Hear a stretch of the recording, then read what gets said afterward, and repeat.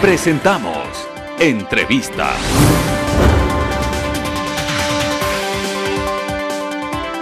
Entonces, con 10 minutos. A esta hora saludamos cordialmente a Carlos Espinosa, director de planeamiento del municipio de Cuenca. Bienvenido, buenas tardes. Carlos, cuéntenos los acuerdos que se realizaron con las cámaras, cámaras de comercio, cámaras de industrias para la reapertura de los lugares comerciales y bajo qué condicionamientos se van a hacerlo. Bienvenido. Eh, buenos días, Hernán. Muchísimas gracias por el espacio. Eh, sí, efectivamente, la Corporación Municipal ha venido trabajando desde las últimas semanas en eh, la elaboración de protocolos de bioseguridad, una acción coordinada con los diferentes sectores. Se hicieron algunas mesas de trabajo, eh, se construyeron conjuntamente protocolos y efectivamente se han llegado a algunos acuerdos. En virtud que la situación de nuestro semáforo no nos permite operar ciertas actividades, la, norma nos abrió la posibilidad de, proponer proyectos piloto eh, para ir eh, teniendo una forma responsable y progresiva y incorporando algunos sectores. Entonces el COE cantonal solicitó eh, en las semanas pasadas la posibilidad de iniciar pilotajes con algunos sectores productivos y comerciales y nosotros hemos puesto unas condiciones básicas para aplicar a los pilotajes. Eh, tanto el sector industrial como el sector comercial, eh, la CIPEM en este caso, y la Cámara de Comercio de Cuenca, de la misma forma que la CAPIA, eh, presentaron adhesiones a, este, a, estos planes cumpliendo los requisitos que habíamos pedido y efectivamente el COE nacional nos ha aprobado actividad comercial del sector industrial. Ahora, Carlos, Carlos, eh, para hoy está previsto de que se abra ya el sector comercial que están eh, afiliados a la Cámara de Comercio, entre otros.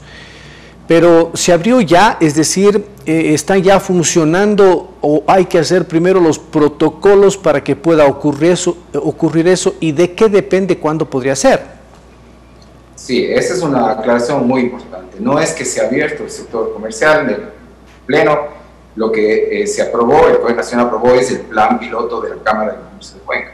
Ellos eh, están cumpliendo los estrictos protocolos de, revisión de cada actividad y nos presentan al COE cantonal el listado de las empresas que ya cumpliendo los protocolos pueden operar.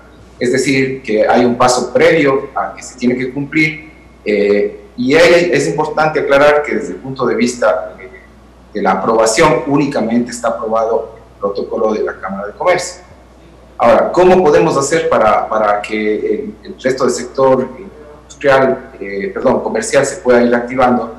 Pues eh, en la, en la EDEC existe toda la información, este rato hay protocolos inclusive preestablecidos para que otros sectores que cumpliendo las condiciones que, que el plan piloto ha presentado, cumpliendo esas condiciones puedan empezar a operar de una forma ordenada y autorizada, en este caso por el COE Nacional, porque esas son las condiciones. Ahora, Carlos, eh, en el centro, en el centro de la ciudad, ¿qué comercios van a poder abrir y qué comercios no lo podrán hacer?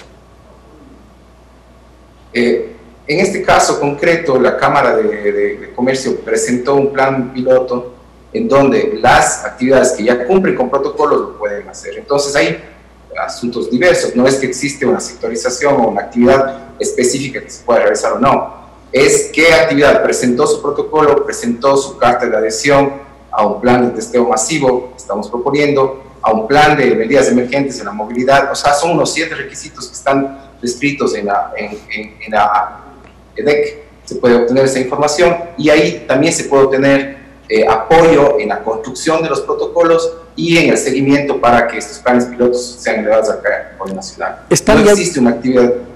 ¿Perdón? Eh, termine la idea, estaba por decirme algo. Sí, eh, es decir, que, que el, municipio y, el, y, a través de, la corporación, eh, a través de su empresa pública de desarrollo económico, EDEC, tenemos ya establecido un proceso para quienes quieran acceder a los planes pilotos y se adhieran a las condiciones que ha puesto el COE cantonal, puedan eh, eh, tramitar de un superviso. Es decir, todavía no están abiertos los comercios mientras no cumplan los protocolos. Eh, la Cámara de Comercio ya presentó hace rato como 30 y nueve empresas, si no estoy mal, que ya están cumpliendo los protocolos y podrían operar desde el día de hoy. Perfecto. Ahora pasemos al tema de la industria. Presentaron 130 industrias eh, los protocolos que se aprobó en el COE nacional. Ellos ya están trabajando y qué responsabilidad tiene ahí, por ejemplo, el COE cantonal y el municipio para que se cumplan estrictamente estos eh, procesos de protocolos que se tienen que hacer.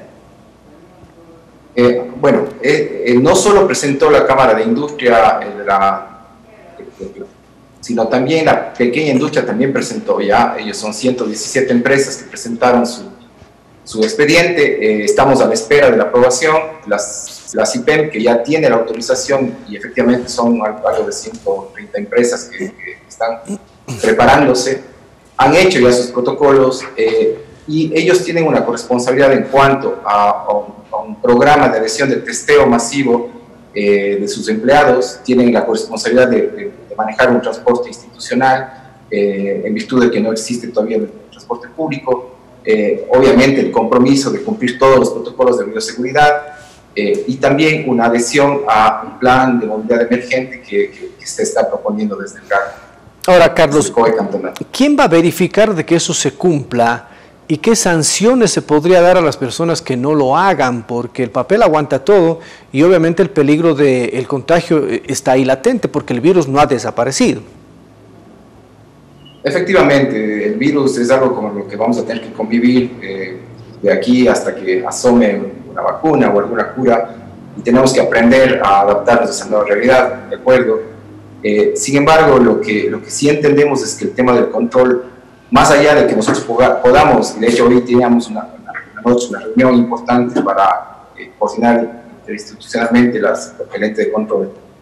En estricto sentido, el control le, compete al Ministerio de Trabajo, es el Ministerio de Trabajo es el que, tiene la competencia del cumplimiento de los protocolos, en, la, en, lo que tiene que ver con seguridad eh, ocupacional. Pero es importante que hagamos conjunto de acciones eh, coordinadas para poder tener un control. Y el alcalde siempre lo ha repetido, o sea, esto es un asunto más de, convicción que de control. O sea, la gente tiene que entender que esto es un asunto serio, que tenemos que, cumplir con los, con los, protocolos para poder tener la seguridad y que al mismo tiempo eh, la, grave situación económica que, estamos viviendo y que nos obliga a encontrar mecanismos seguros de volver al trabajo, a las actividades productivas, tiene que tener un control estricto, eh, tanto de, las personas que están operando, como de las empresas a las que están acogiéndose, como de los entes con quienes se adquieren los compromisos. Creo que es eh, la, acción coordinada la única posibilidad, pero la más efectiva es el convencimiento personal de que esto es un asunto que tiene, que merece tener toda la cautela posible. Hay que trabajar mucho en esto, Carlos. Quiero agradecerle por, por su tiempo, por la información, porque incluso veíamos que hoy se realizó un operativo en el centro histórico de la ciudad entre los agentes civiles de la EMOF y el ejército y en tan solo dos horas fueron detenidos, retenidos 20 vehículos acá en la ciudad de Cuenca que obviamente salieron sin ninguna razón ni tampoco con salvoconductos para este tema. Nos vamos a una pausa comercial amigos, pero no se vayan que ya tendremos mucho más.